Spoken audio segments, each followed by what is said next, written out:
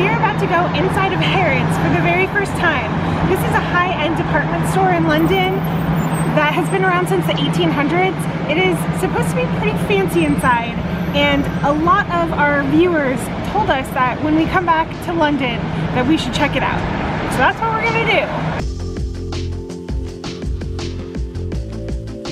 I mean, it looks pretty fancy from the outside. It's huge looking too. I didn't even notice the lit up sign up the column. Yeah, yeah. It has like a crest on it too. Yeah, that, I think that means it's fancy. The other thing that's nice is that the underground station comes out right outside of it. All we know about this place is what we've heard from uh, the people that have suggested to it to us. I do think that we've seen a video at some point just not realizing like what this was about the food hall. So I know there's a good food hall and I think I've seen pictures of like an elaborate Egyptian display of some kind. But other than that, we don't know what to expect. So let's, let's, let's go, go find out. You walk in and there's immediately like a big section of Fendi bags. That's pretty fancy. Yeah, that's fancy. Now every time I see a Prada, which is gonna be very few times in general, I'm gonna think about the Marfa Prada art display that we went to over the summer. Yeah, that's true. Same vibes. They have sunglasses you can try on. Oh, I like them. I probably won't like the price tag this coat has like like Cookie Monster on it or something. I love it. I want these coats. The Louis Vuitton has a giant art display in it and it's pretty amazing. You know, the other thing I appreciate about this place so far is that this is definitely like not for us. No. But I don't feel like it's like a pretty woman situation. That's fair. I think that this is so far kind of confusing. Like there's just lots of rooms and I don't know where to go. But let's find the food hall and then we'll come explore more. The Dior room's my favorite. Look at all the fun color coded things in here. I love it. Yeah, they're like doll dresses even. I love it. I love it. This room's my favorite so far. There's an entire like regular sized department store dedicated just to chocolate. According to this sign, these are exclusive. Oh, they're so neat. What cool containers these come in. 20 pounds for a dark chocolate coffee bean bonbon. I mean, for the vessel it comes in, that doesn't seem unreasonable. This would be like a perfect place to get gifts. Yeah, it's interesting. Those are pretty. Look at those, those, the caramelized nut selection. That's fancy. I've never seen chocolate covered pistachio. Yeah, they're pistachio stuffed chocolate covered dates. Oh. Those sound good. These are exclusive, these are Christmas items. Oh, candied fruits. Yes. oh, this is new. Pistachio baklava. Oh, like real good Turkish delight. Mm-hmm. That's fun. Not only are these adorable, but they're called Cornet Crunchy, so it has a great name too. These are the most beautiful candies I've ever seen. They're bonbons, and they come in a variety of amazing looking flavors. A spice walnut and caramel. Oh, that's the Christmas special right there. Wow, those are two pound fifty each. Do you want to share one? Cut it in half. a little tiny taster. Yeah. Oh, we found the cheese room.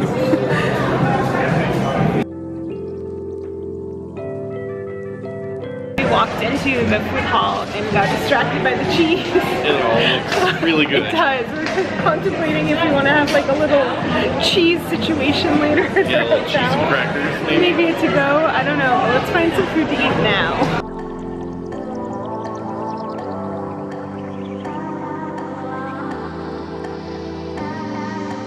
These salads have halloumi, butternut, and pomegranate salad. Interesting. They just looks so good. Wow. They have a lobster roll, they have a prawn cocktail roll, they have a truffle egg sandwich that looks pretty fancy, and they have some kind of sandwich that has like gold flecks on it. Too many choices. So many choices.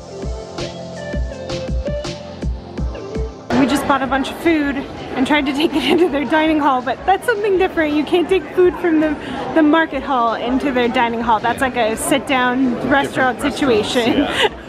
Look at all the Christmas stuff.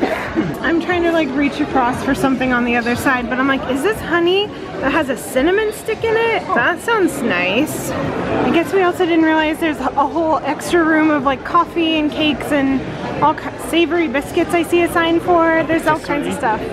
Man, these look amazing. Look how fresh those strawberries look. Yeah, I mean, they're all very pretty, but man, that strawberry one looks extra good to me. I think I'm officially overwhelmed. Yeah, I Like, it's- think I a think bit. because it's lunchtime, it's busy here. Yeah. And it's just, yeah, like there's so much going on. Look at all these breads. They look so good. Ooh, olive and rosemary sourdough. That sounds good. According to this sign, this direction is Fine Watches, uh, Tiffany Blue Box Cafe. I guess Tiffany's also has a cafe here. I Guess so. Should we go see what it's like? Yes. I am not the demographic for a lot of these, but Fine Watches is like the biggest one. I'm not I'm not that. That's not me. There's the Tiffany Blue Box Cafe. It's definitely a, a blue box cafe, isn't it? We were saying that we're feeling overwhelmed. We're on the ground floor. There's like six other floors. Oh, are you serious? Oh wait, yeah, we saw the outside of the building. okay, well let's go take a look at something. There are so many food options. There's like a modern Chinese cuisine on the fifth floor. Look at all these cafes on the fourth floor. Oh, they have a tea room here. Interesting. I didn't know that. Oh, there's a Gordon Ramsay burger. All right, let's go. Like the toy department? Okay, okay. Jeremy's made up his mind. He wants to see the toy department at Harrods. I'm just curious. Okay, this way has a Lebanese bakery. Oh, there it is. I love that there are so many little cafes, like little nooks and crannies, and a lot of them only seat like 15 people. It's very interesting.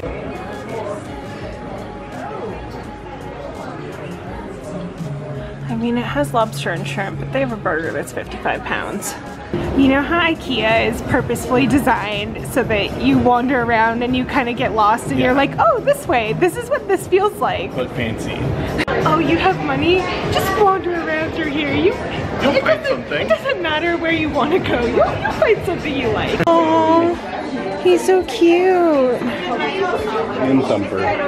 Speaking of IKEA, this is definitely giving me like the IKEA children's toy department vibes. but maybe it's more just like European toys. I don't know. Oh, I would have loved this.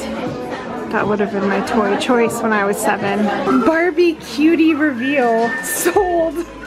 Sold. It's like a little surprise, but for Barbie. Barbie. And now I want it. I Are we a hurry? Maybe. It's a surprise. It's a cutie reveal. oh, you get to see that she has something pink though.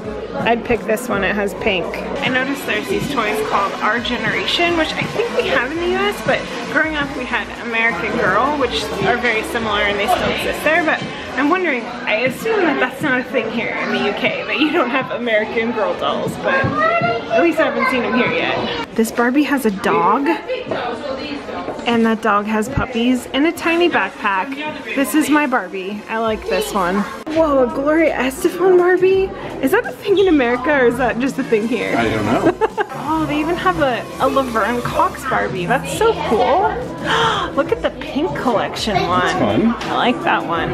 Oh, look at her. She looks like a birthday cake in that one. I'm gonna get that Barbie extra doll and this Snape doll. I'm gonna make them the hot new couple. I like the hair. It's got made of Lego. Oh, I didn't even notice that that's what he was at first. That is pretty neat. Guess what I just found? What? A Lambo. Lambo? Look at all these fun Disney ones. this one has horses with it. These are the two best horses if you ask me. I would say for being inside of an actual d- giant department store, this is a pretty legit Lego collection. Yeah, it's pretty big.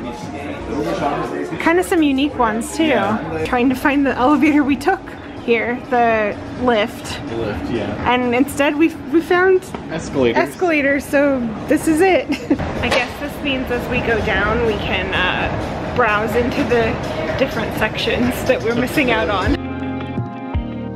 Is there anything else that we should check out before we go? I think we're good. When we saw that Lego Harrods guy, I didn't know that they had a real one outside. We, we went in the wrong entrance, I guess. Yeah, we didn't see a doorman where we were, but there is one right over there. Found a little park bench, so that's what we're doing. We tried to walk to a little uh, garden, like it's all green on the map, but apparently it's private, so uh, we're just back outside Harrods again.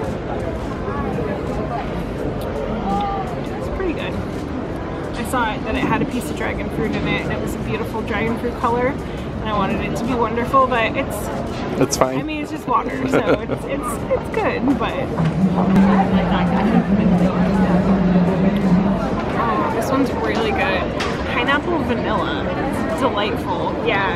Way better than mine. I got some salad rolls. I honestly I feel like it was so long ago I got these. I can't even remember what I got, but I think there's a salmon one and a vegan tikka masala one and I don't remember, but they're probably good. Eight pound 95 is what it was for four of them. Mmm. Oh, this is the pesto and feta one. It's really good. Ooh. This one is definitely the salmon one. It looks like it's got some vibrant colors happening in it too. It's a pulled pork and apple jam sausage roll. Five pound. It does look pretty tasty. That's pretty tasty. It's got a nice little sweetness from the apple jam, and the uh, pastry's pretty nice too. Now we've experienced both Harrods the store and Harrods the food. Thoughts? The store is probably not for me. I felt a little out of place and it was very fancy, but also not unwelcome, which is nice. Uh, the food was all good quality, like not cheap, but I think reasonable for the quality of the food that it was. I agree. I'm the kind of person, like, give me three choices and I'll pick one of those. And so I feel like Harrods as a whole was kind of overwhelming, but there was some really neat stuff in there. And I especially thought that, like, the chocolate department, and like some of the sweets, like, those would make really good Christmas gifts. And while I probably wouldn't shop there on a regular basis, I can appreciate a lot of the aspects of what they have to offer. Yeah. But we also just saw like a small fraction of what there is. And um, our, our viewers tend to give us really good suggestions. So if we missed something, if there's a food we should try, or a department we missed, leave a comment and let us know. And if you haven't been to Harrods, but you're planning to go for the first time, uh, look through the comments because our viewers usually have some pretty darn good tips. So thank you for suggesting this. Uh, it was definitely an experience. Definitely recommend checking it out if you're in London and you haven't experienced it. We'll see you soon. We've got plenty more videos to come from our trip and travels through the UK.